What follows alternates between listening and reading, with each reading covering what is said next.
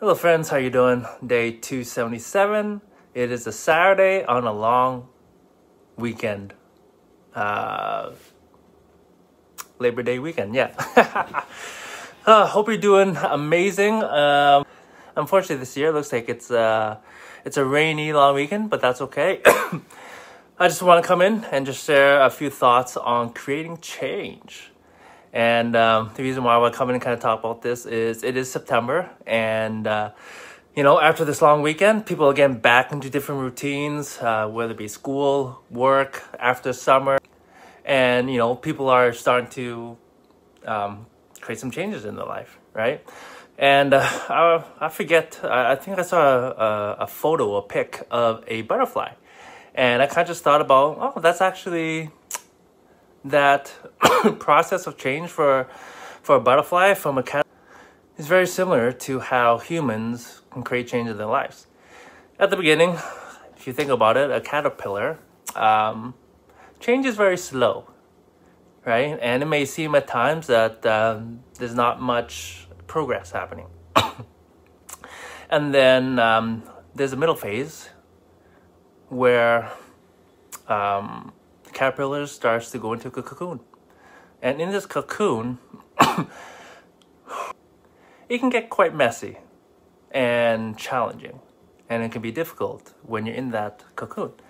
But the thing is, what that cocoon is doing is actually preparing you to become the butterfly and to be free and to be able to fly.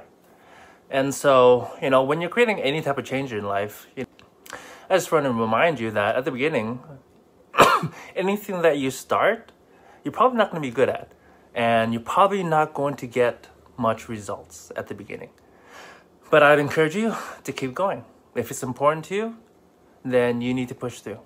Because in the middle section, you have to, uh, you got to push through the challenges. Uh, it's going to get hard.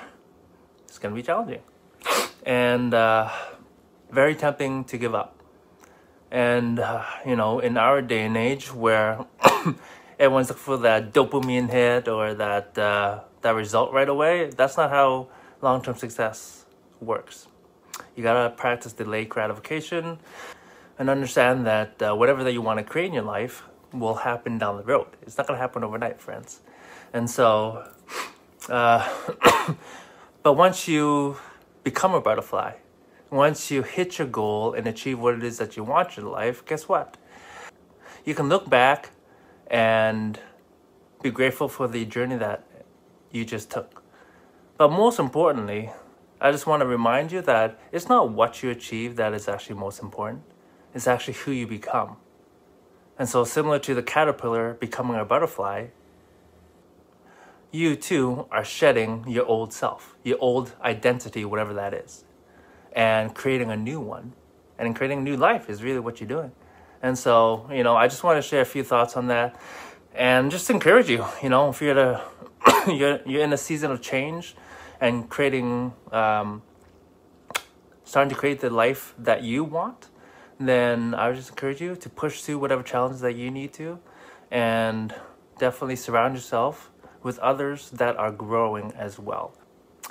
I just find too many people try to create positive change by themselves because whatever it is, uh, maybe they're stubborn, maybe they don't know where to go to. But I guarantee you that there are lots of people that are vibing at your frequency and they want to create change and want to move forward in their lives as well. You just gotta go find them, okay?